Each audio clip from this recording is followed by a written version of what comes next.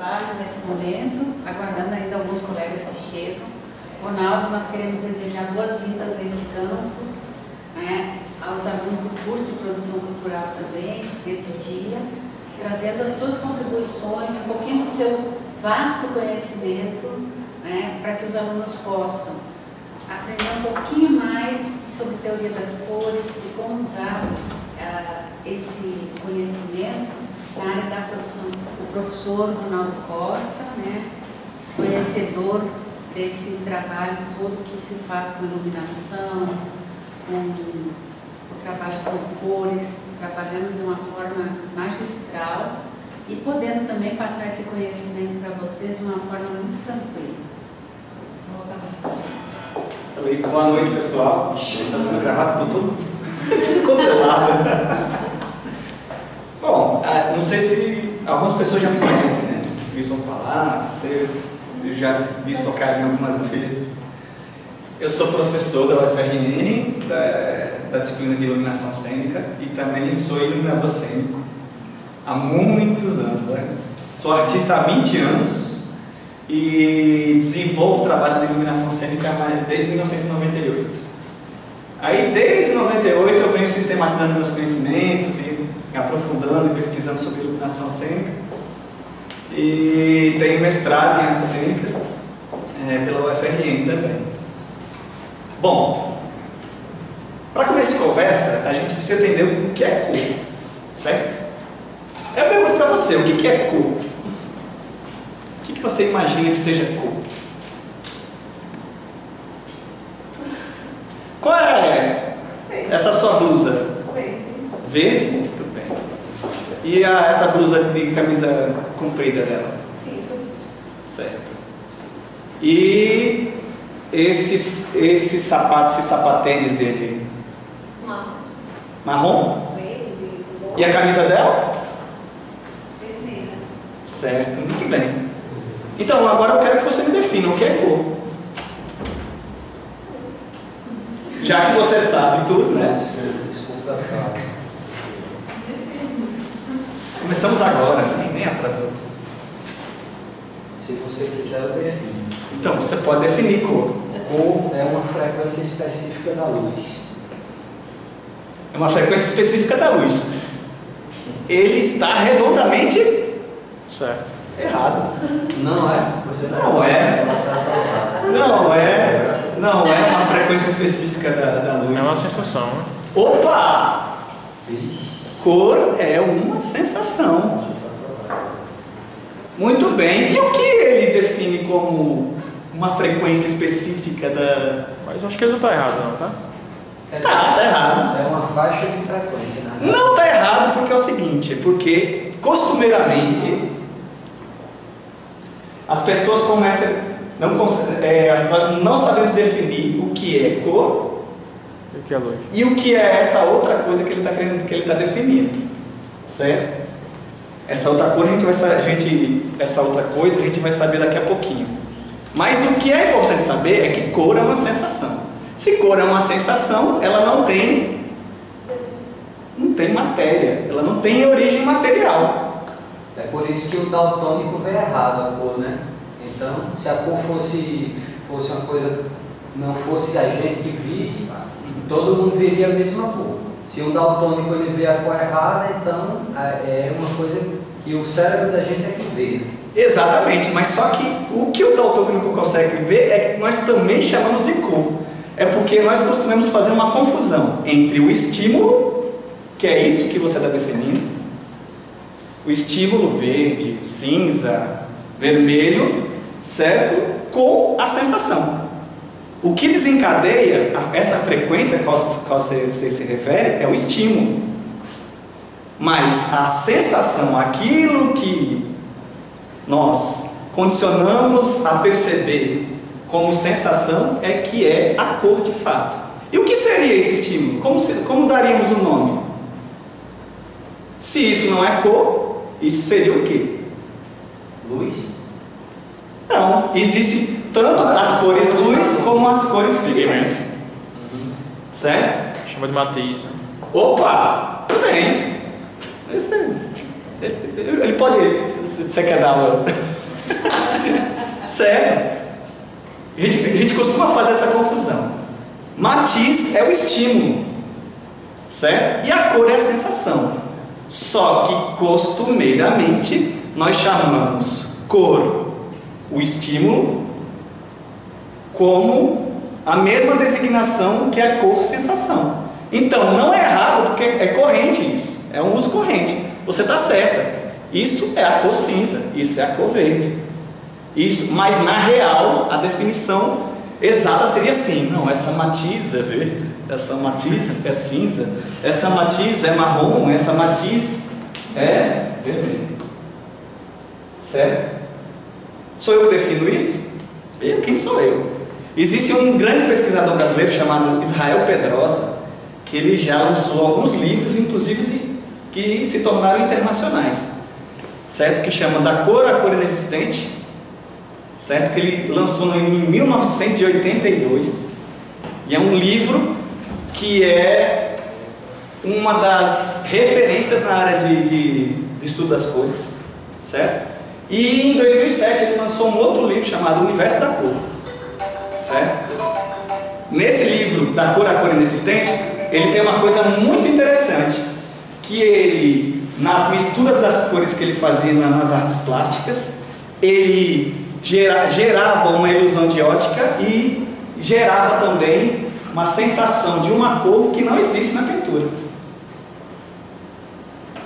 Vocês já ouviram, já, já tiveram é, alguns exercícios de tipo assim, olhe, olhe para essa foto e depois olhe para essa do lado. A gente está fazendo um trabalho de projetar uma tela, uhum. professora, e o meu trabalho é exatamente o que eu estou fazendo é exatamente esse. São várias linhas verdes com três retângulos laranja de um lado e do outro. E eu fiz da mesma, usando a mesma cor. Se você, aí eu vou fazer uma máscara uhum. que ela vai deixar aparecer só os retângulos laranja. Uhum. Vou cobrir a tela. Quando você olha com a máscara, você vê as duas cores iguais. Uhum. Quando você tira a máscara, um lado fica mais escuro que o outro. Gera uma cor que não, que, que não, não existe, ela não está lá, mas é uma ilusão de ótica. E o Israel Pedrosa lançou esse livro da cor a cor inexistente, da cor inexistente e ele tem uma porção de imagens lá que dá essa ilusão de ótica que você fala, puxa, não existe. Às vezes tem um laranja no meio que você fala, não, mas o laranja não existe. Mas como nós visualizamos frequências de cores diferentes e com velocidades diferentes, te dá a impressão de que existe uma cor que, não, na verdade, não existe lá. Então ele começou a estudar essas questões e desenvolveu esse livro que é maravilhoso, infelizmente é esgotado. Se vocês quiserem, eu posso ceder o meu para vocês tirarem xerox. Agora, vai ficar muito caro, porque tem que tirar xerox colorido. Né? Beleza? Aí, ó, vamos aqui. Aqui, teoria das cores. Ó, a cor não tem existência material. É apenas uma sensação produzida por certas organizações nervosas sob a ação da luz certo? Mais precisamente é a sensação provocada pela ação da luz sobre o órgão da visão, certo? Como é que você enxerga o mundo? Minha querida de cinza, como é que você enxerga o mundo? Às vezes quando a gente está triste, às vezes, a gente está triste, às vezes a gente vê as cores tão apagadas, né? quando a gente está alegre as cores ficam bem vivas. Ah, o fato de ser uma sensação aí tem um caráter subjetivo por trás de tudo isso. Muito bem. Mas você enxerga o mundo por meio da luz, concorda? Sim. A luz vai, pum, bate aqui, reflete e vai para o seu olho. Certo? Aí eu pergunto: essa, essa cor cinza dela aí, ela é cinza, é intrínseca, é uma, é uma cor intrínseca da camisa dela? Olha, se a cor é uma sensação, certo? Então ela está na cabeça da gente. Tá, beleza. Ok, mas se por exemplo, sobre a luz branca, essa cor parece de uma maneira. De uma maneira, sobre. Outra, vai parecer. Se você colocar um vermelho, o que, que vai acontecer com essa blusa cinza? Vai ficar mais quente. E a sua blusa verde? Vocês já, já, já experimentaram colocar um verde no seu vermelho? Vai ficar que cor? Ou melhor, vai ficar que matiz?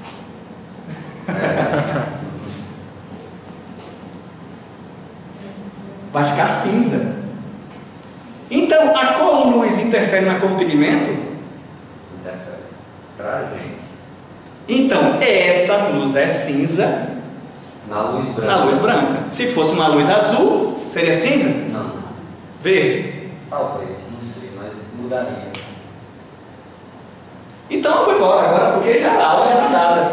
Se a cor luz interfere na cor pigmento, então, então, você tem que ter muito cuidado quando vai usar ela em qualquer linguagem artística. Se você está trabalhando com teatro, aí tem um figurino, vamos dizer, azul. Se você coloca um laranja, que no, no, no teatro a gente chama de âmbar, o que, que vai acontecer com o seu figurino azul? Ele vai continuar azul?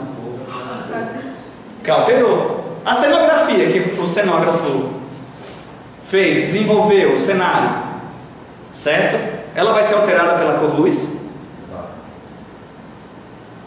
Um quadro, se ele mal iluminado, ele vai retratar as cores, as cores fielmente? Você está vendo a importância? Se não tiver nenhuma luz, a gente também não vai ver nenhuma cor. Exatamente, porque só existe cor porque você vê. Então, quando a gente for falar, a- essa, é, essa Essa cor é azul, essa matiz é azul, É. na luz tal, tem É. que dizer qual a luz que ela tá. Ué, mas eu não quero deixar vocês doidos doido não, tá? Aí eu vou- dizer até o que o Israel Pedrosa disse em relação a essa questão de matiz e cor, certo? Agora. Calma. Ó, em linguagem corrente, a palavra cor tanto designa, em linguagem corrente, tá? A palavra cor tanto designa a sensação cromática como o estímulo, tá vendo que você falou? Ah, é aquela frequência de cor, certo? O estímulo, certo? A luz direta ou pigmento capaz de refleti-la. O que você designou é a cor luz, certo? Que, pro- que provoca, mas a rigor, esse estímulo denomina-se matiz, certo? E a sensação provocada por ele é que se recebe o nome de cor. Então, cor é uma sensação. Se cor é uma sensação, tem um caráter subjetivo por trás, concorda? Ok? Certo? Certo, certo, certo. Mas eu não vou deixar vocês doidos, não. Porque costumeiramente, em linguagem corrente, você chama de cor tanto a sensação como o estímulo. Eu já tinha visto esse nome matiz há pelo menos 20 anos, mas hoje eu fui saber o que ele significava na realidade. É o estímulo. Porque quando a gente estuda eletrônica, tem a matiz básica, né, que é RGB, Red, Green, Blue, que Exatamente. é do sistema de televisão. Né? Que são as cores luz, que são as cores primárias da luz, que é o estímulo. A partir Certo. delas formam as outras, né? Exatamente. E até hoje se usa os três pixels, né? um de cada cor. Eu tenho um microscópio, eu coloco na tela do meu celular e fico olhando. No lugar que está um verde, só tem dois pontos acesos e um apagado. Quando está branco, ficam os três acesos. E assim ele vai alternando para formar todas as cores. Muito bem, a gente vai entender isso daqui a pouquinho, certo? Aí o que acontece? Você não precisa dizer isso aqui que você estudaram física, já né? fizeram vestibular, tudo. Certo? Você sabe que existem várias eh, radiações eletromagnéticas. Só que um pequeno, uma pequena parcela dessas radiações eletromagnéticas são vistas pelo homem. Certo? E o que é a luz?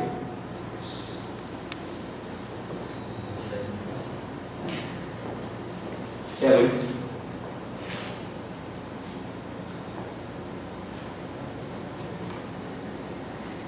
Tente. Ó, vou dar, eu, dei uma dica lá. Falei assim: você só vê o mundo por meio da. Certo, pronto. Então aí já entra uma questão de definição. Aí, que é luz? Tenta aí. Dentro disso que eu falei pra você. Eu não falei que é uma radiação eletromagnética? Sou péssima nisso, Ronaldo. Mas não ser péssimo, é só a gente pensar. Eu sou freiriano. a luz, a, só é considerada luz a faixa de frequência que a gente enxerga. De- visível.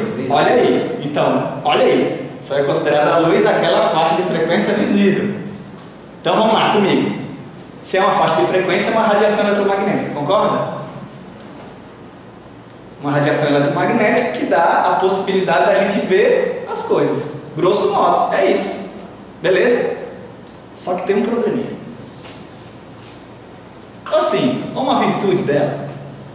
Por exemplo, quando você pega uma máquina de fumaça, já viu máquina de fumaça que usa em show, né?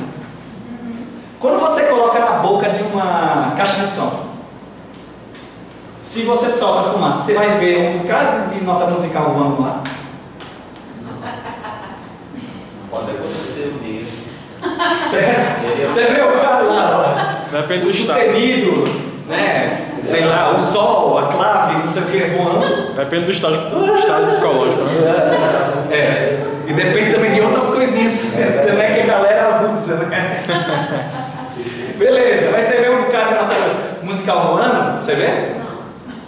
Agora, joga uma fumaça na luz, o que, que acontece com a luz? Aparece o facho dela. parece. Parece. Opa, peraí, calma aí. Se o som é uma radiação eletromagnética e não aparece quando solta fumaça, mas a luz aparece, tem um componente aí que não é, não é só eletromagnético, não é só de radiação. O som, Não, na luz. Tem um, compon- tem um componente material. A luz é ter comportamento de onda e de partícula ao mesmo tempo.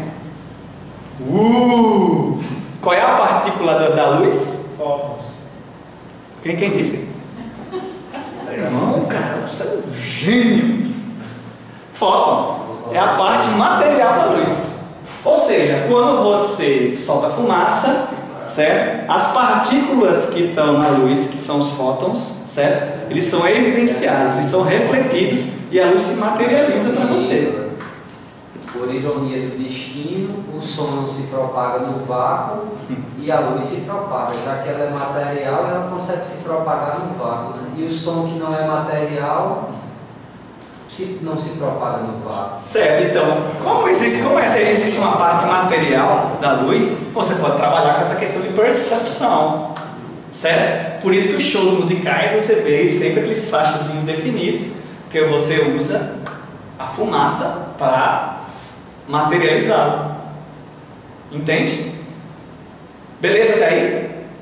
Então, o que, que é a luz? É uma radiação eletromagnética que tem comportamento de onda e de partícula que dá a possibilidade da gente ver as coisas. Beleza? Aí agora você vai lembrar da seguinte coisa: só, só disso. Luz é aquilo que faz a gente ver. Certo? Certo. Então, se ela, ela existe a possibilidade de você trabalhar com a luz ou manipular a luz para você gerar uma sensação por meio da cor também. Está vendo como o poder do iluminador? Olha só, ele pode tanto valorizar uma obra como Desvalorizar. Aí entra a questão mais artística, que você tem que encontrar um equilíbrio e você tem que valorizar aqueles elementos que são colocados na cena, sobretudo nas artes cênicas, teatro, dança, performance, circo, certo? O show musical é considerado cênico, mas ele não é uma arte cênica, certo? O que eu quero dizer é o seguinte: que o iluminador ele tem que ter muito cuidado quando vai trabalhar com as artes cênicas, sobretudo com o uso da cor, porque senão ele vai alterar as cores que são colocadas e são criadas por outros criadores da cena, como figurinista, E que podem ser importantes para a compreensão. como cenógrafo, que são importantes para a compreensão, certo? Uma luz mal desenvolvida para um para uma exposição, certo? Já que vocês vão trabalhar com produção cultural, certo? Pode desgraçar tudo. Desgraçar tudo é ótimo. Minha, minha avó falava dessa forma. Pode simplesmente alterar todas as cores que estão aí naquele quadro, nas artes plásticas. Então você tem que ter muito cuidado ao trabalhar luz. E olha que bonito, vocês podem escrever isso aí, isso é bonito. Isso é bonito. Falou assim: a iluminação rege os elementos visuais da cena. Quais são os elementos visuais da cena? Por favor. Cenário, ator, Opa, cenário, ator. Todo mundo sabe aqui. mundo sabe. Valeu, fala. Wilson. Obrigado, Esperança. Vai lá, vai lá, vai lá, vai lá. Mas me diga. Os elementos É visuais. da cena. Figurino, cenários. Obrigado, Ricardo. Público também. Pode ser o público também, né? Desde, desde que te- o público esteja inserido dentro da narrativa do espetáculo, né? A fumaça, a água, se estiver caindo água. Bom, enfim, mas enfim. Bom, mas esses elementos visuais já tem, né? o, o ator está incluso nisso. Então você tem que valorizar também o cidadão, a cor da pele dele. Tudo isso é pensado. E tem uma relação estética por trás, intencional. Não é uma escolha aleatória. Certo? Pois. Meu iPad está sem toda hora. O ator seria o elemento principal cena. O ator é o elemento configurador do teatro. Ainda. Nunca vai deixar de ser. A partir dele que se cria todas as outras coisas, certo? Então, ele continua sendo, se ele é o elemento configurador da cena, certo? É o que desencadeia todo o processo, ele continua sendo, na minha opinião, o principal. Mas aí há controvérsias, tá? Existem teorias que eh, não colocam essa relevância toda ao papel do ator hoje em dia. É porque a luz ela, ela tem essa tendência, né? Se o ator é o elemento principal, ela vai se baseando nele para. Exatamente. Na verdade, assim, como ele deflagra o processo, então tudo é criado, assim, espaço cênico, é, figurino, maquiagem, é, o cenário é desenvolvido para ele e a iluminação também, A para que você veja o ator. A luz e a ausência de luz também, né? A ausência de luz Porque às vezes é narrativa também. você quer tirar a atenção para poder ele sair ou outra pessoa entrar chamar, e chamar a atenção para uma outra coisa que não é o ator, uma parte do cenário. Então, o trabalho, o trabalho estético é de luz e sombra. É você trabalhar exatamente essa claridade e essa obscuridade. Eu, eu fui agora em, em março ao show do Roger Waters no Rio. E eles usam dois projetores sincronizados, duas torres de projeção, né? E por trás do palco é, tem uma parede de 70 metros, que é a largura do campo de futebol, e no começo do show tem um muro em construção. Né? E os projetores, eu fui perceber isso, acho que já estava com a meia hora de show. Eles vão fechando o muro. Existe uma plataforma por trás do muro, Uhum. onde o cara sobe com essa pl- plataforma, chega naquele local onde está faltando um tijolo, ele coloca um bloco de papelão ali, e até o momento que ele coloca o bloco, a luz está projetada toda clara na parte onde tem os blocos e escuro no meio. Uhum. Então você praticamente não vê o cara colocando, se você não estiver prestando atenção. Ele sobe e coloca aquele bloco. Quando ele abaixa a plataforma, acende a luz só naquele bloco que ele coloca É uma projeção a mapeada. mais. Fez uma piada. É, aí coloca só a luz ali a mais, aí você vê o bloco. Aí eles vão fechando, vão fechando. Eu só fui perceber com uma meia hora de show. Aí eu falei com o colega, eu tem um cara que está colocando os blocos ali. Ele disse, não, eu digo, tá, preste atenção. Aí é exatamente isso. Até o momento que todo o muro é fechado e eles ficam tocando dentro do buraco. Depois esse buraco é fe- eles apagam né, e fecham o buraco. Aí ele já surge lá no canto direito, no alto, sai uma plataforma de dentro da parede, derruba uma parte do muro, com uma sala de estar, um abajur, que é uma cena do filme The Wall. E ele Uhum. canta a música sentado na poltrona. Então, nesse evento, eu fui ver da, da, grande possibilidade que você tem de usar uma luz num show. É realmente o show deles é de luz, porque durante todas as duas horas e tanto de show é o tempo todinho esse projetor projetando alguma coisa nesse muro. Né? E eles usam também os canhões de luz, mas o grosso mesmo da iluminação é com esse Tinha esse projeção mapeada.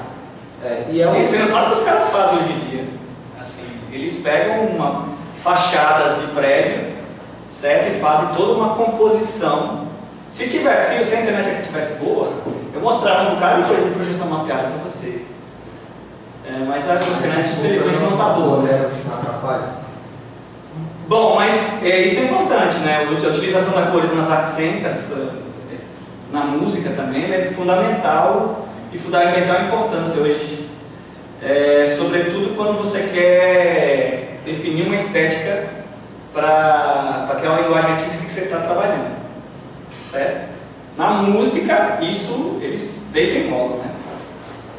Há uma tendência em pensar que os objetos já possuem cores definidas. Né? Na verdade, a aparência do objeto é o resultado da iluminação incidente sobre o mesmo. Sob uma branca, a maçã aparenta ser de cor vermelha, pois ela tende a refletir a porção vermelha do espectro de radiação, absorvendo a luz dos outros comprimentos de onda. Se utilizássemos um filtro para remover a porção vermelha da fonte de luz, o verde, por exemplo, a maçã refletiria muita pouca luz, parecendo totalmente negra. Então, aquilo que eu falei para você que são os estímulos que nós chamamos de matiz, na real, né? Mas que costumeiramente chamamos de cor também. Os estímulos que causam as sensações cromáticas estão divididos em dois grupos: o das cores luz e o das cores pigmento.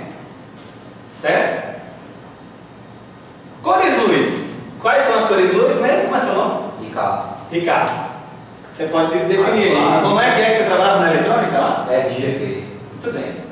Red, green, blue. Certo? Azul, vermelho e verde. Certo?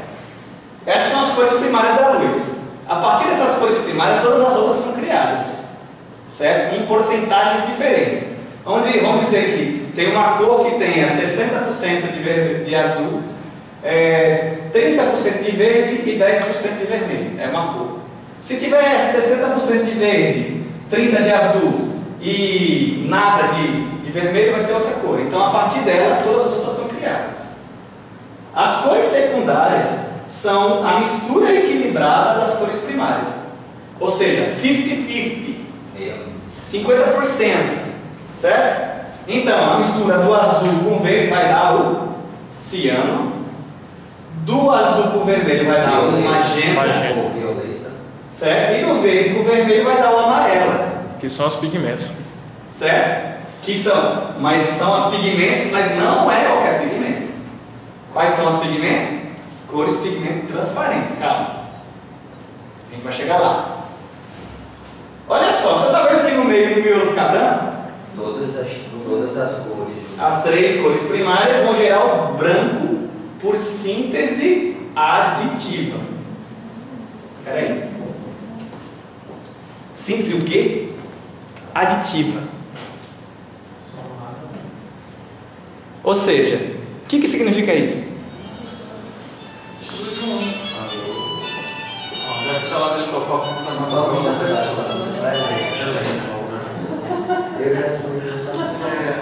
Uma, co- uma cor sobreposta à outra. Uma cor sobreposta à outra. É, é. Mas só que na cor na subtrativa também é uma cor sobreposta à outra. Só que tem uma diferença. A cor, a síntese aditiva é quando uma cor cadê? Vou ficar com raiva de você. Você tem que desligar o bloqueio automático. Aonde, aonde que tá? Você sabe dizer? Geral. colocando as coisas. Aí, ó. Não, agora foi. Ele foi embora, foi pra casa. o vermelho saiu. Ó, que massa também. Sumiu. O vermelho das cores, né? Não, deixa, deixa, deixa aqui, daqui a pouco a gente. Do vermelho. Ah, é. Saiu. Você vai em geral. Não, deixa eu vou. Você vai, vai abrindo, né? Beleza. Ah, rapaz, sumiu. Ele sumiu todinho, cara. Viu? Salvou aí. Você tá vendo aí como altera mesmo, vocês viram? né? É. Eu só aprendi para a aula, para dar mais boa. Certeza.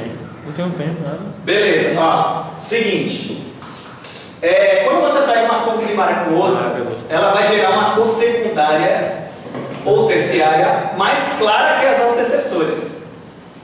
Então quer dizer, o azul quando se mistura com verde, você está percebendo que o, esse verdezinho aqui, o ciano, ele é mais clarinho que as outras duas?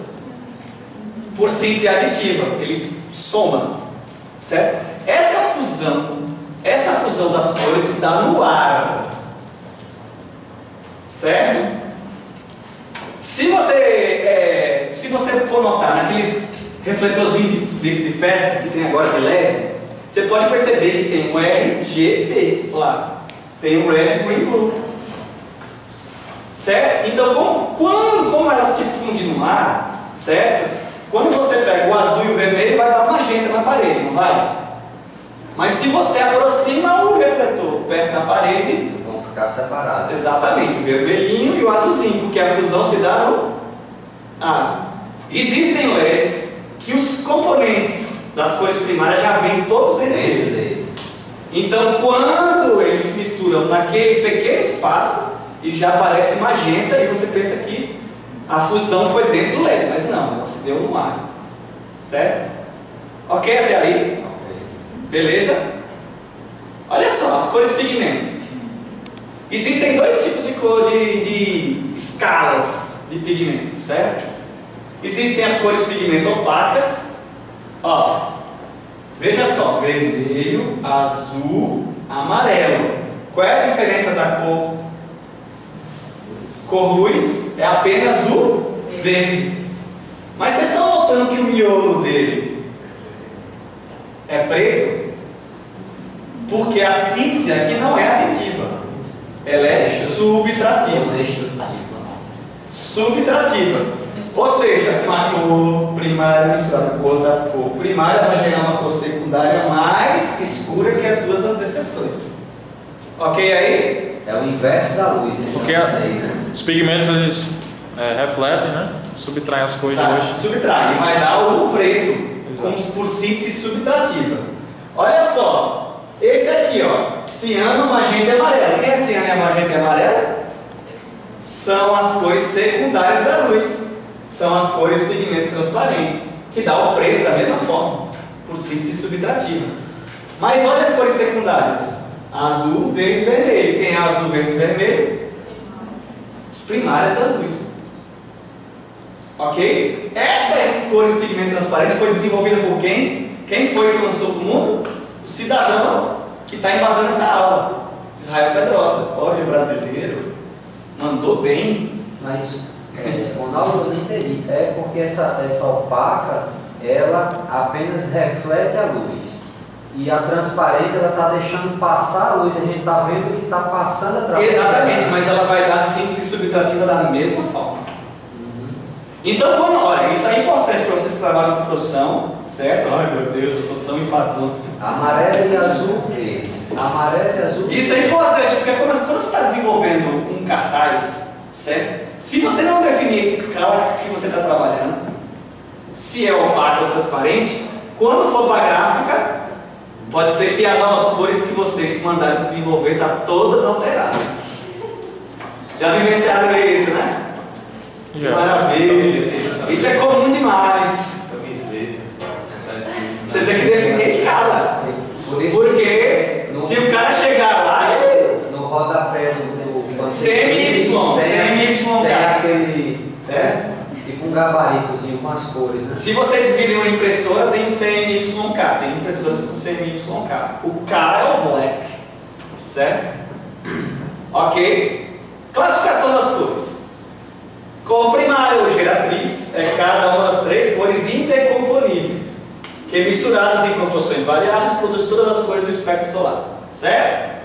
Então, quais são as cores indecompo- indecomponíveis da luz? RGB. Quais as cores indecomponíveis opacas, pigmento opacas? Vermelho, Verde. azul e amarelo. E quais as cores indecomponíveis, pigmento transparente? Azul. Ciano, magenta e amarelo. Tá? Cor secundária é a cor formada pela mistura equilibrada de duas cores primárias. Certo? Cor complementar. E olha só que bonito que ele vai falar. É a designação dada à cor secundária pelo fato de que ela, justa, já justaposta à cor primária, que não entra na sua composição, complementa o espectro solar e vice-versa. Você entendeu o que ele quis dizer? Nem eu. Mas eu vou, vou explicar de uma forma bem mais simples. Certo? Olha só. Qual é a cor complementar do azul? Amarelo. Qual é a cor complementar do verde? Magenta. Cor luz, tá? Não é o violeta. Não. Cor luz, cor luz. Calma, não se confunda. Certo? Qual é a cor complementar do vermelho? Ciano.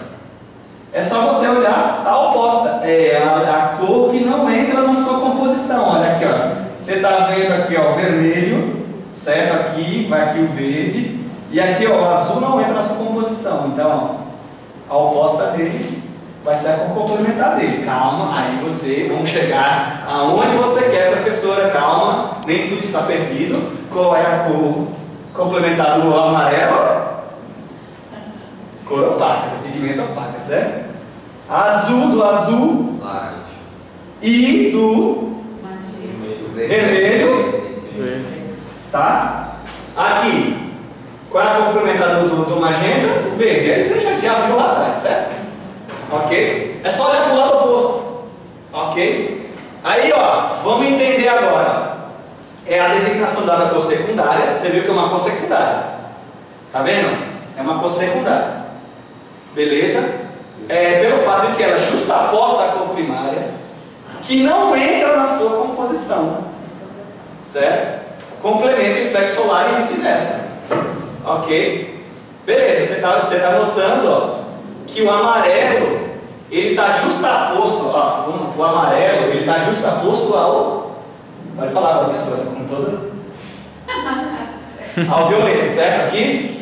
Ok? O amarelo está justaposto. Você está notando que o amarelo não entra na composição do violeta? Ó, vermelho e azul aqui, ó. Não entra na composição, por isso que ele é complementar. Aí no caso aqui, vai dar o preto. E na, no caso da luz, vai dar o. Branco. Beleza? Não é à toa que a O escolheu. Ronaldo, Amarelo e roxo, né? Dá para mostrar o espectro de novo lá? A faixa lá? A faixa. É. Aí tem todas as cores do arco-íris. Porque na, nesse caso aí, pela, pela matemática, pela frequência, a gente pode definir tudinho, né? Todas as Pode faixas. ser. Inclusive, uma faixa muito 700 nanômetros, não sei É. o que, blá blá. Isso aí pode definir tudo. Beleza, aí ó.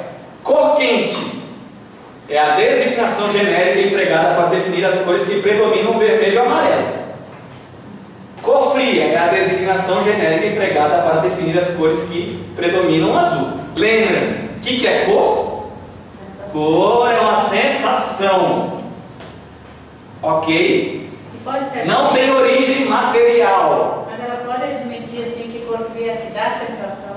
Exatamente. Essa cor fria é porque a gente tem a sensação. Seja, Porque aí eu vou entrar numa outra questão que vai. Ah, meu Deus, ah, vocês vão ficar meio confusos a princípio, mas depois vocês vão entender, certo? Ah, que cores quentes e frias, né? Existem essa, esse, essa ciranda que ele fez, que na verdade ele quer dizer, como é uma sensação, às vezes quando uma cor está justaposta à outra, à outra, você pensa que ela é mais quente ou mais fria que a outra que está do lado, entendeu? Por exemplo, se esse, esse aqui é um, sei lá, um amarelo limão, É. e esse aqui é um verde. Você não, você não nota que esse aqui é mais quente do que esse aqui, assim? Então, quando você vai colocando justaposto a, uma cor a outra, você vai percebendo, ah, essa aqui é mais fria do que aquela, essa aqui é mais quente do que aquela. Porque é uma sensação. Entende? Olha só aí, agora eu vou entrar aí no olho humano. Meu Deus do céu, por que eu vou entrar no olho humano? Ah, você sabe que a câmera fotográfica ela foi inspirada no olho humano. No olho humano. O olho humano tem uma uma lente biconvexa, que é assim, ó, ela tem convexidade dos dois lados, que chama de cristalino. O que, que acontece com a imagem quando passa pelo cristalino? Ela E fica-. Menor. menorcita. Quem já pegou aqui os, os velhos slides? Ainda é do meu tempo. Certo? O slide é um positivo. Certo? E o negativo, certo? É aquele que vai servir de, base para se fazer a fotografia, certo? Vocês lembram daqueles bichinhos que vocês? Botava no. Monóculo? É, Vocês já pegaram isso? Vocês pegaram isso? É da época de vocês? Vocês irem para Juazeiro do Norte, aí lá Aí os caras tiravam a foto e cortava. Cortava o, o, o negativo, colocava lá e colocava no monóculo. Aquela lentezinha no monóculo é o quê? Biconvexo? Conversa. Eu tinha uns, uns desses pequenininhos, você olhava contra o sol assim, ficava Certo. O que é isso importante? Ó, aqui, é aqui atrás tem uma parte sensitiva. Tá? É aqui onde que a imagem vai ser formada e você vai visualizar as coisas. Tá? Peraí, mas você vê ao contrário? E quem aqui faz a gente ver de pé? O córtex cerebral. Beleza? E outra coisa também. Existe também um buraquinho no seu olho que ele abre quando tem pouca luz e fecha quando tem muita luz. Quem é estradinho? Pupila. Pupila. Reflexo pupilar. Se o danado, se o cara tiver lá tendo piripaque, você botar uma luzinha e não mexer em nada, Parada respiratória. Não, o cara morreu. Já pode fazer a massagem. entendeu? O cara morreu. Ah, entendeu? O cara, o cara morreu, bateu as botas, viu? Então não precisa ser enfermeiro não. Se alguém desmaiar do seu lado, você botou lá, continuar fazendo o reflexo pupilar, que o cara tá vivo ainda. Ufa. Se parou, velho, aí você, você pode se desesperar que o cara bateu as Às vezes o cara toma uns negócios que tem por aí que fica perto direto, sabe? É bom você tá- Olha só, existem dois tipos de cores lá na parte sensitiva do olho. De, de células que vão visualizar é, as cores no mundo inteiro. Certo? São os cones e os mastonetes. Os cones são células responsáveis pela visão das cores. Olha. Existem três tipos de cone. Uh, por isso que é o tal do RGB, né? Agora Existem três tipos de cores. Ó, quando você estimula em, em graus é, diferentes esses, esses cones, você vai visualizar todas as cores do espectro. Aí, por exemplo, se você pega e estimula 50%, 50% vermelho e azul, você vai visualizar o quê? Lembra? Vermelho e azul vai dar o magenta. Em, em proporções iguais. Em proporções iguais, o verde e o azul. Vai dar o ciano. Certo? O azul com o verde. É o ciano. Ah, muito bem. E o azul com o vermelho é dar o amarelo. Beleza? 50%, 50%. Agora, se você coloca 20% um, 33% outro, 60% um, aí você vai desenvolvendo todas as cores. Então, o problema de uma pessoa que é daltônica. Daltônico parcial. É no cérebro ou é no olho? No olho. É no olho, né? É. Ó, se você falta o vermelho, Só vê azul e verde. não. E, e mais, você só vê as, cores geradas por azul e verde. Azul e Se verde. precisar do vermelho. Do vermelho, é. as cores. Aí você vai ver daquela cor que você tá vendo aqui.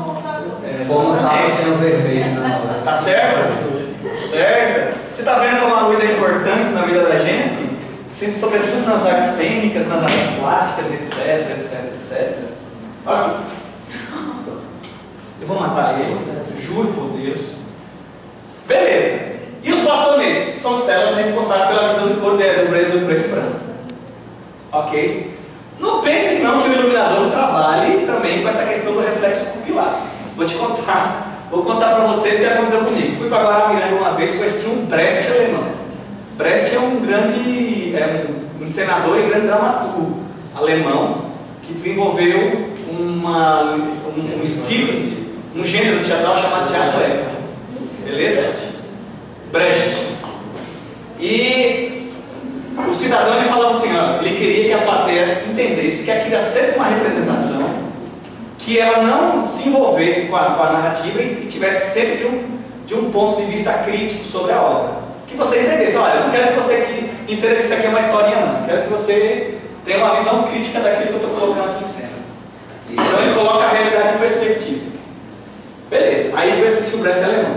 Cheguei no teatro, tinha uma luzinha assim de entrada da plateia, e o cenário era uma cortina prateada que passava de, da esquerda para a direita do palco, perspassando todo o palco.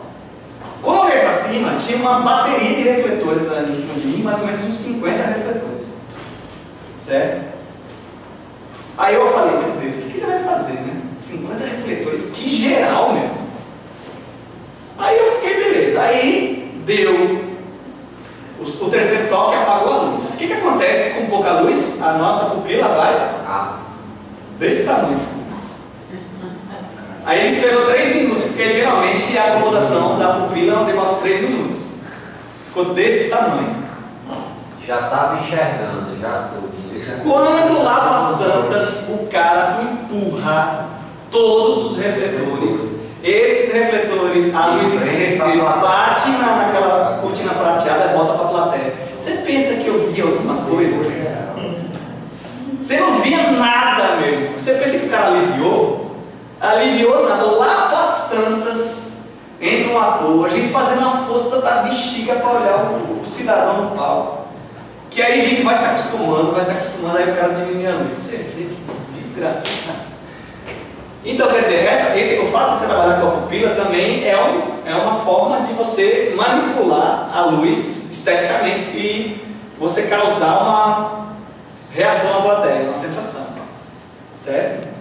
E as cores, não precisa nem dizer, né? O que é mais importante de tudo isso? Que vocês entendam. Que a cor exerce ação tríplice, a de impressionar, a de expressar e a de construir. Tá? A cor é vista porque impressiona a retina. A cor é sentida porque provoca emoção. A cor é construtiva, pois tem um significado próprio, possui valor de símbolo, podendo assim construir uma linguagem que comunica uma ideia que pode ser leveza, alegria, sobriedade. Ó, existe um- uma, existem várias vertentes de cromoterapia, certo? Existe aquelas que falam assim, parede verde vai, vai te dar tal sensação. Se você pintar tal coisa de, de vermelho, vai te dar tal sensação. De amarelo, vai dar casal tal. Então, aí por exemplo, cor, é o verde, verde é, estimula a produção criativa. Escolhido pelas cores. Exatamente. Aí o que acontece?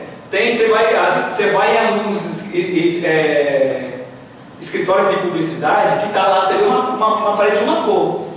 E você fala, pô, mas por que eles pintam dessa cor? Porque o cara fica tão bitolado no computador, sério, fica tão bitolado, ele fica vendo aquilo, você sabe que é só imagem, imagem, imagem, que quando chega uma, um determinado momento, é, ele fica olhando para a parede para justamente descansar a visão Regular. regular, porque senão ele vai começar a alterar tudo. E é a mesma coisa que o café é um adstringente de sabor, né? Se você coloca Muitos perfumes, depois para zerar, você cheira o café. ou cheira o Ou se café, você viu muitas cores, você para e olha para uma cor fixa que você já tem ela armazenada na sua memória, né? exatamente, é isso. E se, e se- e se só não estiver cheirando de cebola, pode passar o cafezinho que vai sair tudo. Mas, Ronaldo, essa questão da, dessas cores causarem uma, uma reação X, como fala na, na cromoterapia, isso não é subjetivo? Ou já existe um estudo que realmente a cor tal acalma, a cor tal excita? Isso, existe, existem estudos já científicos mesmo de que tal cor vai, vai ajuda tal coisa e a, ver- e a vertente de cromoterapia está cada vez maior, né? Porque a cor é um dos elementos importantes na criação de um produto. É levada em consideração. Uma- ela vai dar sempre. Por exemplo, assim, vermelho é importante Chamar para atenção. chamar atenção e para o é, um fator, é um fator desencadeante de apetite. Apetite, abre o apetite. abre, abre apetite. Isso aí é, é estudado, né? Agora tem a questão cultural também, né? Tá bem. Que modifica tudo. né? Vermelho na China é diferente do vermelho no Brasil, né? É, totalmente. O preto, existe- é a questão da subjetividade. é, o preto no, no Oriente é a, a cor da sorte, né? Da sorte. Já aqui no Ocidente é a cor do azar. Mau agouro. É. É, tem, tem, tem, tem noiva, noiva aqui no ocidente é branco, né? É, mas é, Existem noivas que são pretas. é cultural mesmo, porque quando eu era criança eu não gostava de preto. Porque diziam que preto era a cor da morte, não sei o que, não sei o que. Ao longo que eu fui ficando mais velho, eu fui aprendendo que o preto era uma cor que dava sorte, que era sóbria e tal, e hoje eu gosto de preto. E que era do rap mesmo. Muito bem, olha só. Tipo assim, ó, você pega todos os espectros das cores, certo? Essa, essa mistura dessas, todas as cores do espectro vai gerar o branco, certo? Imagina isso aqui é radiação branca, tá? Aí quando ele bate uma superfície, ele vai rebater aquela cor. cor da superfície. Certo? Então, essa luz, essa camisa que você está usando é vermelha, porque está rebatendo a porção vermelha desse pigmento. Certo? Ok? Beleza? Agora, se você modificar essa cor luz, a cor luz vai interferir nessa cor pigmento aí. Então, na realidade, o pigmento não tem uma cor definida. Não, é não. luz. Exatamente. Ele apenas reflete de uma maneira. Já posso ir embora. É isso mesmo. Já caiu a ficha, é. Não, o objetivo da aula é exatamente esse. Vocês já chegaram nela. Agora eu vou começar a falar umas coisinhas aqui a mais, tá? Que vai ser importante, sobretudo, também para vídeo. Já que vocês trabalham com produção musical. né? Então repete isso aí. O- A cor, a cor pigmento ela não é uma cor fixa. Ela, é, ela reflete de uma maneira. Depende da cor que está incidindo nela. Cor luz, defina tá? Cor luz. Da cor luz. A cor pigmento depende da cor luz. Entende? E a cor luz interfere na cor pigmento. Sobre uma branca, vai passar. Isso aí vai ver. Eu você- dizer que se ela for uma cor pigmento azul X e ela incidir sobre ela a mesma cor, ela vai refletir 100%. Exato. Se essa cor for diferente, vai refletir menos, cada vez menos. Olha só, aqui vai explicar exatamente isso que ele está falando outras palavras. De de outra forma, ó. Você está vendo aqui, ó, o, o azul, rebatendo azul, branco rebatendo azul, porque a superfície de pigmento é azul. Vermelho, se você ilumina de vermelho uma superfície branca, vai rebater o No caso, a gente vê é, o que é refletido. Exatamente, vermelho. Se você coloca vermelho, um vermelho iluminando uma superfície vermelha que tem um pigmento vermelho, vai rebater o vermelho intenso. E aí, se você ilumina de verde uma superfície, uma superfície vermelha, você vai ver? Pinóide nenhuma, você vai ver? São aquelas O objeto é agressivo. São aquela, aquela cor complementar que você falou, não, aquela que não faz parte. Não, não chega a ser a cor complementar, certo? Mas assim, tipo assim, o verde aqui, ó, certo? O verde. O Quase verde não não é tem nenhum vermelho. componente. Ele, o verde aqui não, tem nada componente vermelho, vermelho. porque ele é azul e. Entendeu? Não, ele é outro primário. né? O verde é outro primário. Sim, é mesmo. Entendeu? É, ele é outro primário. Ok? Olha ó, esse vaso aqui, ó. Ele está iluminando com uma luz branca. Você está vendo que está retratando as cores pigmentos ali, ó. Azul, verde e vermelho, tá? Se você iluminar o vaso de vermelho, ó, olha essa pétala aqui, ó, certo? Não vai desligar não. O azul, olha, e o verde vão aparecer totalmente enegrecidos. E o miolo dele, dela não é vermelho, vai ficar um vermelho intenso. O que é branco vai ficar vermelho. E assim, pô, o verde e o azul também. Ok? Ou seja, as cores luz alteram as cores pigmento. Ok? Ronaldo? Quer dizer que o racismo é só a ausência de luz, né? No caso, porque a gente. O preto, ele absorve todas as cores. Porque a gente. Eu, Certo? Ele não rebate nenhuma. Aí o que acontece? O que, que acontece? Se ele absorve todas as cores, o que, que acontece com o preto? Essas cores Não, são absorvidas, as absorvidas se transformam em quê? Calor. Por isso que o preto é, Aquece. aquece. Ronaldo, é, eu só consigo. Por que, que eu consigo visualizar melhor o que está iluminado com a luz verde? Porque ela é mais quente, é? Ou A não? verde? Sim, é o que eu consigo ver melhor, os detalhes do preto. No azul eu não vejo quase nada. Contraste. Pera, pera, ah, aqui? É. Ah, sim, porque o índice de transmissão do verde é maior do que o do azul. Certo? E vocês me colocam umas coisas que eu tenho que responder em alto nível. Valeu, muito bem. tô É a questão do contraste também, né? Oi? Contraste. Ó, ah, tipo, ó, eu tenho aqui. Deixa eu mostrar aqui uma coisa. Deixa eu, deixa eu ver se eu tenho, tá? Se eu tiver, eu mostro na hora para vocês. Olha aqui, ó. Isso aqui são cores de gelatina. Gelatina é aquela películazinha colorida que você coloca na frente do refletor para colorir faixa de luz, certo? Não é papel celofane, tá? Aquilo é resistente ao calor.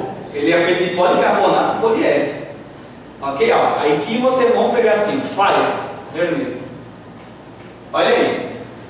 Ele tem 12% de ciano, 94% de magenta e 100% de, de amarelo. Aí ele vai dar esse vermelho fire aqui. ó. Você está entendendo? Ó? A mistura de todas as cores, certo? Mas- Vão gerar as- todas as cores do espectro. Esse aqui não é o vermelho primário, tá? Agora vamos lá. Vou pegar o vermelho primário aqui para vocês. Ah, entendi, ah, eu, eu entendi agora. Quer dizer que se. Ó, o vermelho primário é esse aqui, ó. Olha aí, o vermelho primário. Ele é totalmente diferente. Você está vendo aqui a índice de transmissão? Ele tem menos amarelo, né? Exatamente. Ok? Ó, por exemplo, vou pegar, um, vou pegar o azul 74. Que é. Deve ter 74% de alguma coisa. não? set- Não, 74 é o, é o azul primário. Olha só a transmissão, tá vendo? 4% só. Não, não é claro. Entendeu? Agora, existem os azuis que têm transmissão bem. Ah, Mas eles vão ter mais luz. ó, esse aqui, ó, Misty Blue. 66% de transparência. Tá? Isso aqui é um corretivo. Beleza? E aqui você vê, ó, 30, 33% de ciano. Ciano, magenta e, e, a- e amarelo, quem são? Cores, pigmento, transparentes. CMY, vendo? Todas as transparências são montadas com essas três cores? São. Que bom saber isso. E o preto é a cor que eles chamam de. É o Black. key, né? É, Tem um termo. Fecha. Certo? Então, quer dizer, olha, olha só, como iluminador ele tem que estudar um monte de coisa. Quando eu estou fazendo a iluminação, eu, tô, eu estudo tudo isso, certo? Porque eu não quero alterar a cor do figurino, nem do cenário, nem da maquiagem, nem do ator. Então, tenho que fazer todo esse estudo para estar desenvolvendo a iluminação do espetáculo. E ainda as pessoas acham que o iluminador não vai ter, não tem trabalho nenhum. Só ligar a luz, né? É, Só apertar o botãozinho na hora a diferença de um iluminador para um técnico de luz é que ele tem esse conhecimento, ou deveria ter. É, tem tem. É. Tem técnico. Certo? E aí vocês, aí ó, aqui na frente, aí tem, ah, é legal que eu acho que, peraí, aqui são os complementares ó, dele, cores complementares dele, tá vendo? Isso é um aplicativo muito, muito, muito bom, certo? Quando eu quero usar uma cor complementar, e outra coisa também, uma dica, você está fazendo luz, se você coloca a- uma cor primária e a sua complementar, vai fundo, vai dar certo. Vai ficar bonito. Porque visualmente fica muito bonito. Quando você usa as cores complementares. Beleza? Até aí tudo bem? Ok. Então, deixa eu voltar aqui para tá. Beleza. Aí que vai dar um. Não, mas calma que vocês vão entender. Lembra que eu disse para vocês que na sensação o azul é uma cor fria? E lembra que eu disse também que as cores quentes são aquelas relacionadas ao amarelo, laranja, vermelho? Isso é uma sensação. Na real, agora não vou falar mais sensação, agora vou falar na real. Os caras começaram a pegar um filamento de carbono, começaram a aquecer. Chega a uma determinada temperatura, aquele filamento de carbono começou a emitir uma luz, uma cor. Qual é a primeira cor que apareceu? Vermelho. Então é a cor mais Fica amarelada. Então é a mais fria. Exatamente. Já, É o contrário. já numa chama, É o contrário, a parte mais, A mais parte qual é, a- quente qual é a azul. mais quente do maçarico? Que corta? É azul. É azul. Certo? Por acaso, certo, olha só como, como o mundo se apresenta. Ó, entardecer, amanhecer. Você está vendo que é diferente da cor do meio-dia? O meio-dia está mais. Colocou, mais tirou a- um tripé que tirou a foto do mesmo local durante o dia. Você está vendo que aqui pa- passa as radiações vermelhas, amarelas? Aqui também. Olha só como é azulado ao meio-dia. Se você vai fazer uma filmagem, certo? A luz que você vai captar aqui é a mesma que dessa aqui, então você vai alterar. Certo? Então você precisa de um equilíbrio. Ok? O que eu estou querendo dizer que a temperatura de cor, agora estou falando temperatura de cor, ela varia durante o dia. Aí o que acontece? Os laranjas elas- e os amarelos eles aparecem mais ao amanhecer ao entardecer. Por quê? Porque a massa da, da atmosfera não deixa as radiações azuis entrarem na atmosfera. E as radiações azuis são mais quentes. Aí, por volta das 10 horas até as 15 horas da tarde, as radiações azuis começam a entrar maciçamente na atmosfera. Algo lembra vocês? Não vá à praia nesse horário sem protetor solar, não sei o que, porque as radiações azuis são as mais quentes, vão queimar você. Beleza? Você pode, você pode distinguir pela cor, você pode distinguir quando você tem um pôr do sol, quando tem o nascer do sol.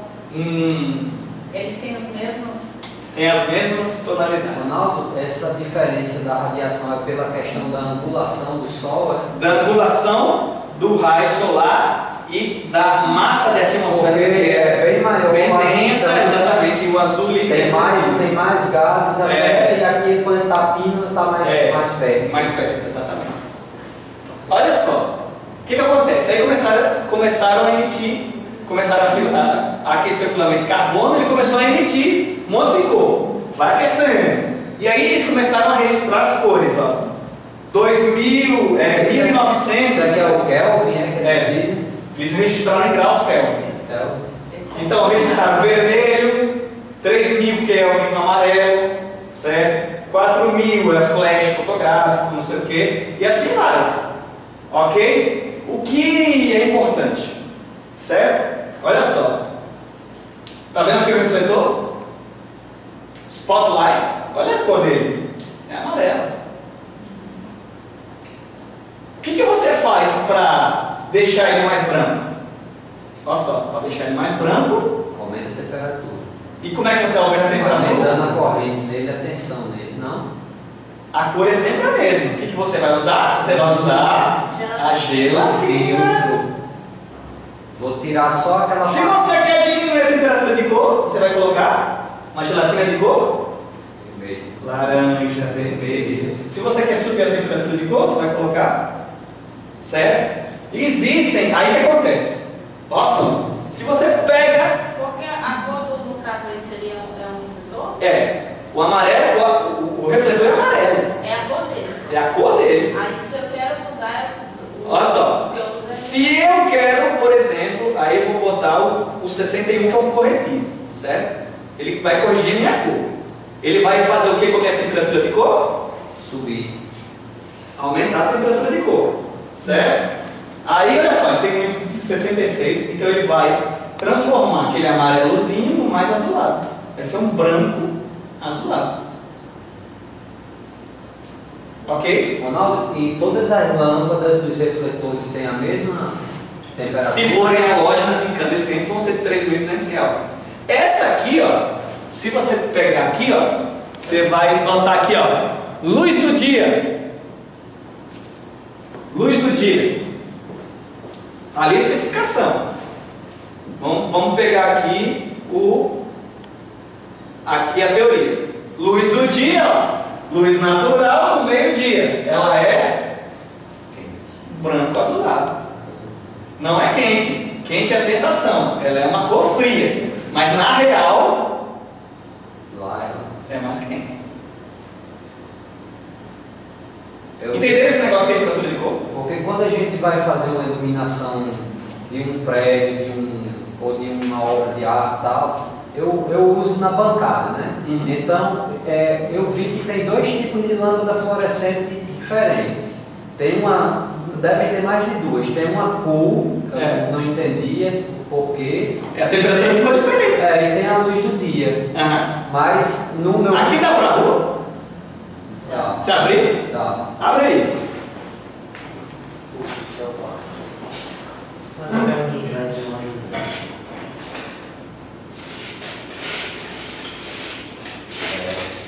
Não, não sei. Dá pra rua? Dá. Dá pra ver? Dá. Beleza. Olha aí a cor que tá nos postos. Laranja. Olha ali como é que tá a cor dele ali do lado de fora. A temperatura de cor da lâmpada é amarelada.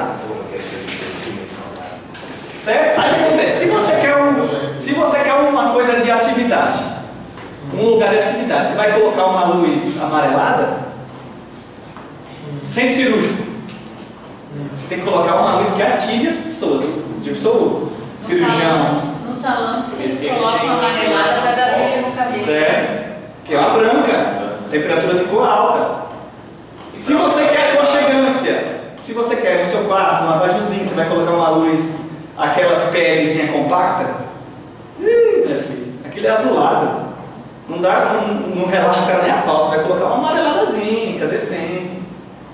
Para estudo. Certo? Aí todo mundo fala, ah, o LED vai tomar conta do mundo. Não. Vai ser tanto LED como a incandescente vão continuar sendo usadas. Logicamente que a incandescente com uma menor escala, mas ela não vai deixar de existir, porque ela tem beleza. Certo?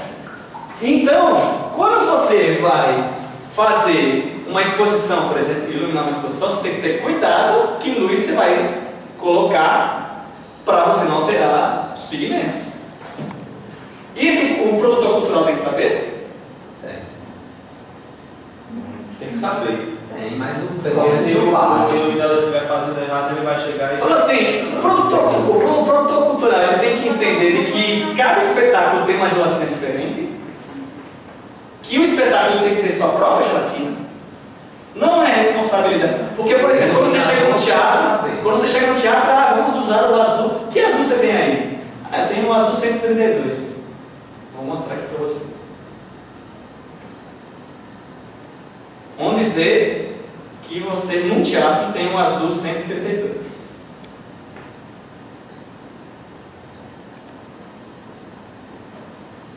Sim. Puxa, aqui não vai ter.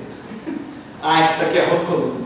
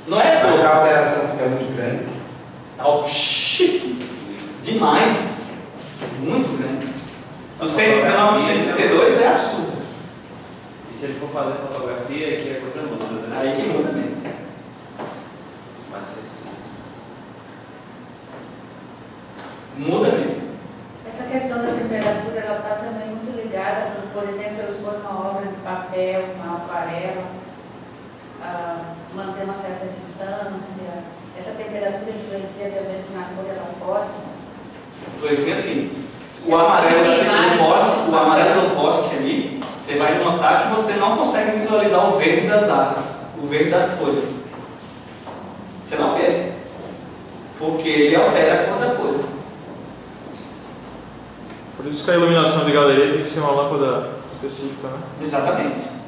Que tenha, que tenha um índice de reprodução de cor bom. Senão vai estragar algo. Estragar até fisicamente. Exatamente. Se você. Lâmpadas incandescentes, como geram muito calor, certo? Ó, lâmpada incandescente tem uma, é uma questão. Em relação a lâmpadas econômicas, que são essas.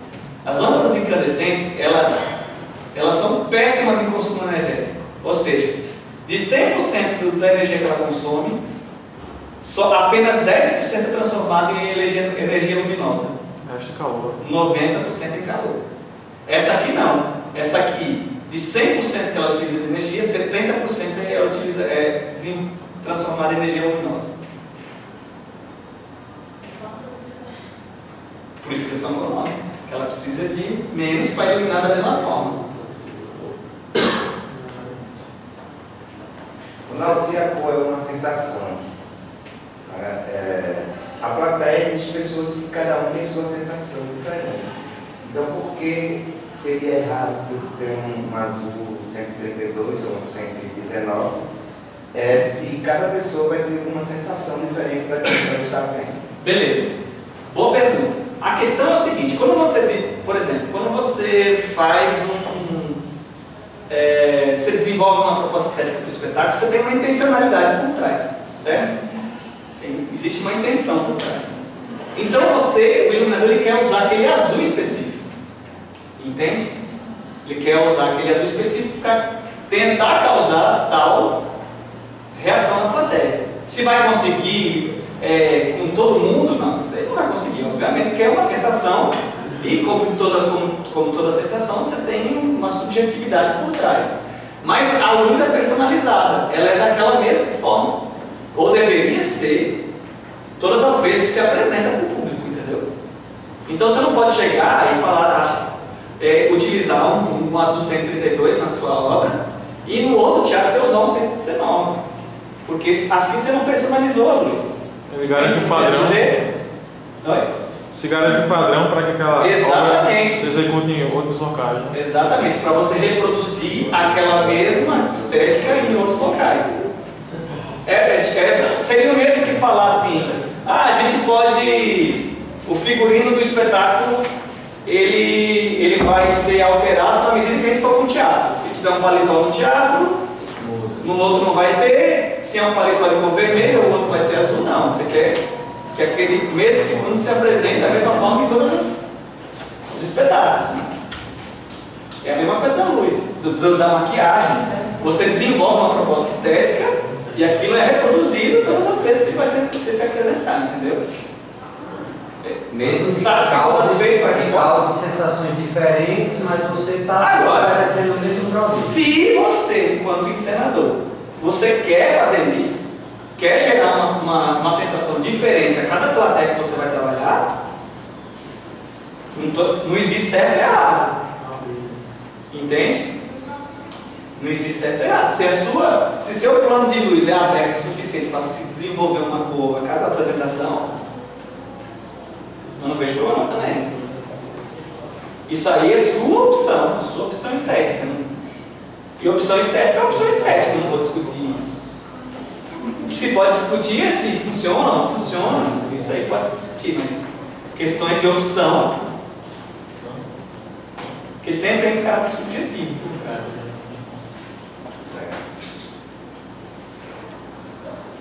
Alguma pergunta mais? Aqui, gente. Ó. Nossa. Oi. Qual seria um- uma boa lâmpada para se usar? Uma, eu trabalho com coisas muito miúdas, placas de celulares, placas de, de circuito impresso é, é muito pequenininho. E eu queria que você me desse uma dica. Eu quero, qual seria uma melhor lâmpada para eu iluminar a bancada? A melhor lâmpada é que tem a temperatura de cor mais alta. Mais Azulada.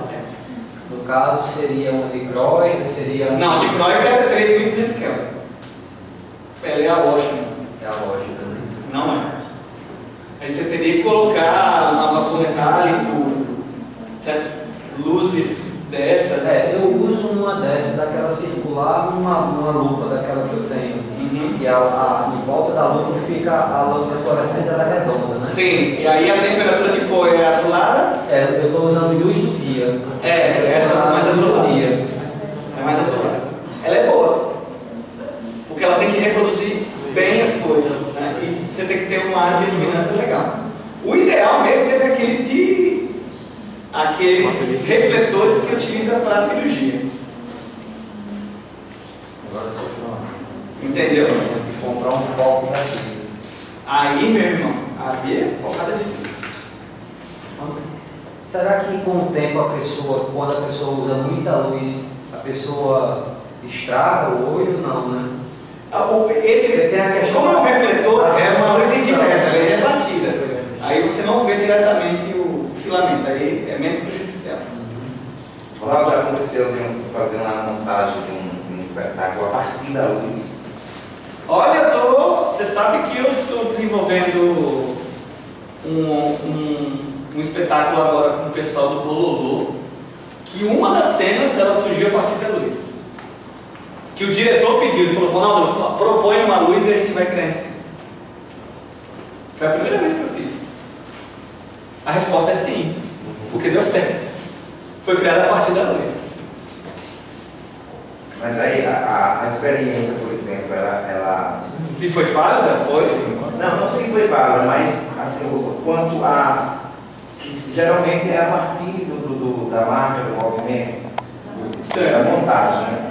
E a partir da luz, esse, esse, esses dois parâmetros aí, o que, você acha que, que foi mais fácil, mais difícil ou. Olha, como foi uma questão de aprendizado de todo mundo, né? todo mundo estava aprendendo, foi um desafio para se pensar dessa forma. Mas a, a luz ela era presente, ela foi criada de uma forma primordial, onde que não existia cena nenhuma, só existia intenção. Ah, vou colocar essa luz porque eu quero que tenha essa intenção. E a partir dessa intenção, os atores jogaram com, com, com a luz, certo? Pro- proporam um movimento pensando nessa luz e acabou dando certo, ficou legal, assim, é possível, né? Até pouco tempo atrás eu falava assim, olha, eu acho que é possível. Eu falaria, eu acho que é possível. Hoje em dia eu falo com certeza que é possível.